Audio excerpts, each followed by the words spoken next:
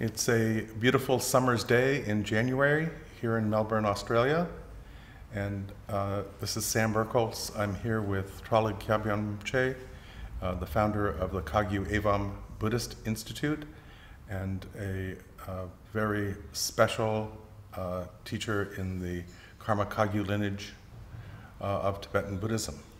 And Joanne and Walter Fordham have asked me to interview Rinpoche and to uh, uh, see what he has to say about a few things. Good morning, yes. Rinpoche. Good morning, Sam. Um, Rinpoche, as Dharma becomes more established in the West, uh, do you think that there's a danger of, of, selectively modernizing the path to make it more palatable for Westerners? Uh, for example, the teachings on karma and rebirth? Um, yes, I think um, there's, uh, there is that danger. Um, I think um, sometimes uh, uh, modern Buddhists tend to um, uh, think that uh, learning about Buddhist history and uh, even Buddhist philosophy, psychology, and so forth in depth is not really all that necessary. What is necessary is the Buddhist practice of meditation. And uh, through meditation, then uh, everything that Buddhist uh, um, teachings speak about can be um, um, realized within one's own um, mental continuum. And I think um, approaching Buddhism um, that way uh, can be uh, very uh, dangerous because uh, one is simply relying on one's own experiences to guide one's spiritual path um, uh, without any kind of uh, external reference point in relation to a teacher, in relation to a, a clearly formulated system of Buddhist thought. Um, uh, so, uh, so I think it's a very sort of uh, subjectively indulgent kind of approach, and I think there's a lot of danger in that. thank you, Rinpoche.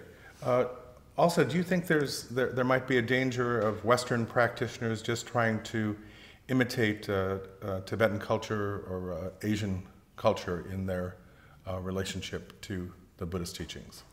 Well, there's that, um, that's the other extreme.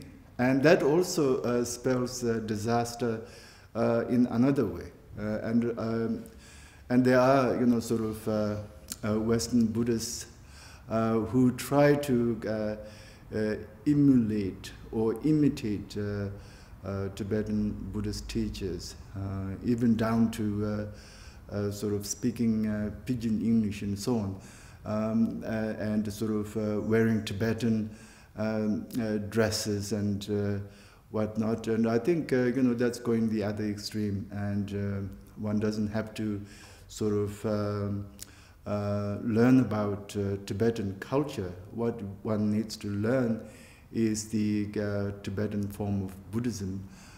or any kind, other kind of Buddhism that one may be interested in, Japanese, Theravadan, etc.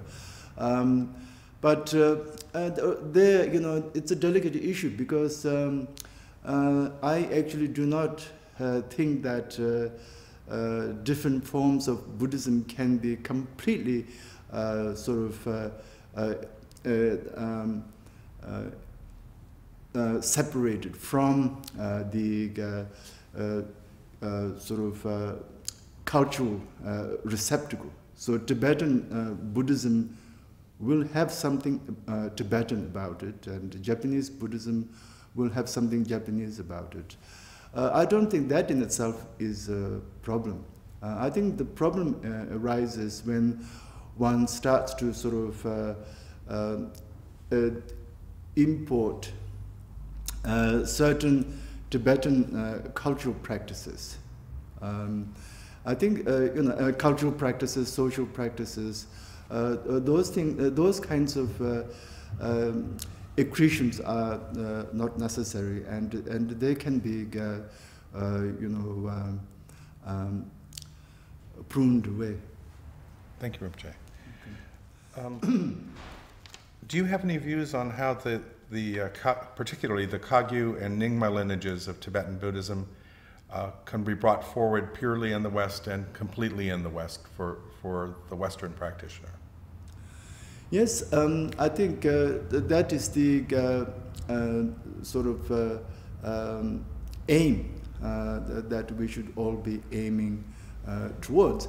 And that is, you know, by um, studying Kagyu Nyingma teachings um, in relation to Tibetan Buddhism, and then Uh, uh, planting that Tibetan Buddhist tradition uh, in the West, in Western context, uh, so that uh, the Kagyu and Nyingma traditions, as they develop, as they mature in the Western context, then would reflect something about the Western sort of mentality, Western approach, uh, Western values and so forth uh, in, the, uh, in the way in which these traditions then um, begin to take root. And I think that is very important as well. So um, even though uh, when these teachings are brought into uh, the West, um, there, there's something about Tibetan, uh, about these traditions, as I mentioned earlier. Um, but when, once it starts, once these teachings begin to uh, take root, then I think you know um, uh, they can then begin to assume uh, certain uh, Western quality uh, as the traditions begin to uh, mature, and I think that's a good thing. Yes, Rinpoche. Thank you. many of us know that you've listened to many of the talks that Trungpa Rinpoche gave while he was in the North, on the North American continent and, and in Britain, and uh, we also know that you're familiar with his writings. Uh, could you uh, talk about uh, the way that you see he presented Dharma, whether it was a, tradi- uh, a, a traditional style or, or something different?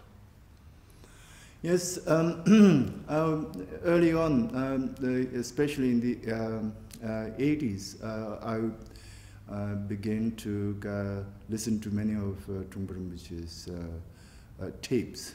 Um, and um, I found them to be uh, extremely useful and beneficial um, because um, um, you see, um, he had sort of forged a, a, new path in terms of how to teach Tibetan Buddhism to Westerners and I found that to be very refreshing. I never, eh, you know, uh, imitated uh, Trungpa Rinpoche's style, by the way, um, because you know uh, I'm not Trungpa Rinpoche, and uh, even though um, I'm very familiar with uh, many of uh, many of uh, Rinpoche's uh, unique expressions and so forth, I've never used those in my teachings, and my style of teaching is very different and and he was uh, uh, he was a, a poet uh, and and a very sort of artistic kind of um, person, whereas I think I'm sort of more academic and and my approach has also, you know, sort of in terms of teaching and things like that, it's been more like that. Um, um, but uh, nevertheless, I found his teachings to be very beneficial because uh, um, you see, uh, when he was uh, teaching uh, Buddhism, uh, he started to teach Buddhism by instructing people in the practice of meditation. Uh, uh, and that is quite unique because usually in Tibetan Buddhism, people would immediately go into tantric practices. Um, and uh, so they would be given uh, tantric uh, abhisheka or empowerments and uh, would be given certain tantric sadhana or tantric uh, practice manuals to follow uh, and you know recite mantras and things like that. But he was completely against that, you know. So he sort of, excuse me, presented um, Tibetan Buddhism in a very sort of uh, systematic fashion, uh, and that's how it should be practiced anyway. You know, because uh, uh Tibetan Buddhism um, uh, consists of the three yana system or three vehicle system. So it makes sense to uh, sort of approach um, Tibetan Buddhism in that graduated way. You know, first meditation, um, and then you know, sort of becoming familiar with the uh, Mahayana concepts, and then uh, gradually entering into the tantric practices. Uh, might you want to comment on the way that uh, Trungpa Rinpoche taught the Vajrayana to Western students? Yes, um, I think uh, uh, the way he uh, taught uh, Vajrayana, uh, as far as I could see, was that uh, he brought some kind of notion of Mahamudra and Dzogchen along with traditional tantric practices. Uh, you know, with his concept of uh, basic sanity and so on and so forth. Um, uh, so, um, so he introduced a lot of Mahamudra and Dzogchen concepts without saying that they are Mahamudra or Dzogchen concepts. Uh, so uh, the tantric practices that he introduced is actually sort of uh, um, enveloped by the sort of general uh, atmosphere of uh, uh, Mahamudra or Dzogchen type of approach. Oh, thank you so much, Rinpoche. Welcome. Um, can you uh, uh, talk a little bit about uh, the relationship one has with one's root guru or root teacher when the guru is no longer in the physical body in Rupakaya? Yes, um, well, um, the thing is, one, one should be uh, relating to the guru uh, in relation to what we call three uh, bodies or three embodiments of the Buddha, you know, Nirmanakaya, Sambhogakaya, and Dharmakaya. So um, even though the Nirmanakaya aspect is no longer sort of uh, apparent, uh, nevertheless, uh, in Sambhogakaya form and Dharmakaya form, uh, the gurus uh, ever present. And so, uh, um, you know, Dharmakaya has to be sort of related to, in relation to one's own genuine, authentic state of being. and to connect with one's guru on that level. And with Sambhogakaya, when you're doing guru yoga or you know, when you're praying to your guru and when you're thinking about your guru, remembering your guru, remembering Guru's kindness, etc. And when you're uh, sort of feeling some kind of longing or when you're feeling some kind of uh, closeness to your Guru, then you, uh, you invoke the Guru in Sambhogakaya form. And, uh, and then the Guru might appear in the Sambhogakaya form, Uh, even in dreams and uh, uh visions and uh, so forth. and, and you know, sometimes you actually have to invoke your Guru uh, in a, uh, in uh, you know sort of with a form, and and that's referred to as Sambhogakaya. Oh, thank you, Rinpoche. Yes. Very helpful. What had you heard about uh, Trungpa Rinpoche's teachings in the West while you were a, a monk in Rumtek? Uh, were his activities and teachings influential, influential in terms of your development as a teacher, for example? Um, yes, um, Um, when uh, uh, His Holiness the Karmapa returned uh, from his 1977 uh, world tour, um, Jamgon was in the in the um, um group uh, that traveled with uh, His Holiness, and and Jamgon Kongtrul brought back some of uh, um, seminary transcripts. And one of the transcripts that he brought back was uh, on uh, four dhammas of Gampopa. And uh, uh, you know, I used to go and visit uh, Jamgon Rinpoche quite a lot in those days, and um, and he gave me a copy, you know, of uh, um, Four Dhammas of Gampopa, and uh, and I was very sort of uh, excited to have the copy because it was not like a traditional sort of um, presentation of the four dhammas. You know, his approach was completely different, And it took me uh, quite a long time to actually sort of uh, even get a very sort of uh, um, uh, some kind of uh, um, you know sort of tangible idea as to you know what he was trying to get at. Uh, because the language, uh, uh, you know, his use of language was so uh, unique and so different. So. Um, uh, so um, uh, I mean, through reading his, um, you know, sort of transcripts and things like that uh, back in Sikkim, I realized he was a very, very sort of unique teacher, and and I was sort of very interested in knowing more about him. But apart from that the um, uh, uh, people who traveled with him, you know, when I uh, sort of spoke to them about Trungpa Rinpoche, uh, they were very impressed by uh, his organizational skill. Uh, I remember hearing that. And um, as far as the sort of Trungpa Rinpoche's outrageous behavior and things like that, they never said anything.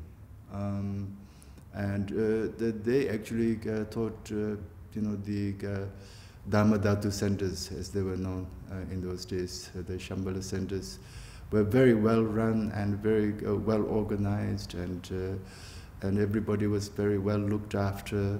Um, that's what they told me, and uh, and uh, that uh, the students were very serious about Dharma, and they were not just dabbling in it, but uh, people were doing, you know, sort of serious uh, Dharma practice uh, on a regular basis. Um, and the centers were very, uh, you know, large and many students and so on. Uh, so I think, uh, by and large, they were very impressed. Oh, wonderful.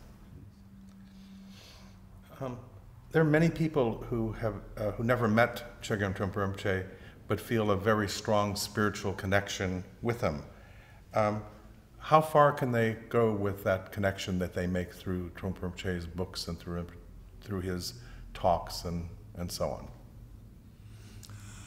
I think uh, a lot because, you know, um, uh, you see, um, um, uh, teacher lives through uh, uh, his or her teachings. Um, so, uh, um, you know, it's like uh, the Buddha is no more, Buddha Shakyamuni is no more, but his teachings uh, live on and his teachings continue to uh, guide, uh, you know, uh, millions of people um, and uh, still, you know, sort of vibrant and, and very much alive. Um, so in a similar fashion, you know, even just sort of um, our immediate teachers and so on, uh, Uh, you know, their teachings, uh, uh they sort of uh, uh, substitute, if you like, uh, uh, for the living teacher. so, so I think extremely important. I mean, and the benefit of the teachings will continue to impact on people and uh, and uh, the value of the teachings really cannot be uh, underestimated. And that's sort of related to what I was saying um, earlier in terms of uh, people as resistant, uh, resistance towards uh, sort of learning more about Buddhist philosophy and things like that. Because if people did that, then they would get more benefit from the teachings. Um, you know, um, because um, uh, Buddhism, uh, what Buddhism teaches, you know, a lot of the philosophy is actually, uh, even now, you know, it's very current. Uh, it's not like, uh, you know, sort of uh, you're um, the reading about things that have no longer any relevance, you know.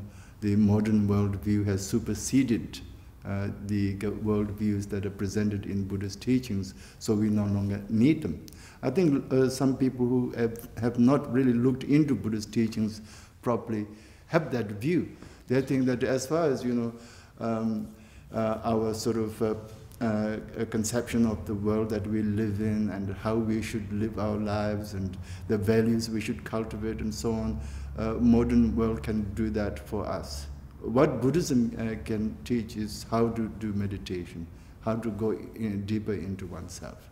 That's the only thing that Buddhism has to offer. Um, uh, intellectually and in every other way, modern um, uh, modern view is far superior. So we have no uh, need for uh, the uh, uh, Buddhist teachings, you know, to inform us of what the world is like, what the real, what reality is, what is the best way to conduct our lives, and what sort of values should be cultivated, and so on. Thank you so much, Rinpoche, for uh, providing this interview for the Chronicles, and I'm sure uh, it will be welcomed very much. You're welcome, Samji. Thank you.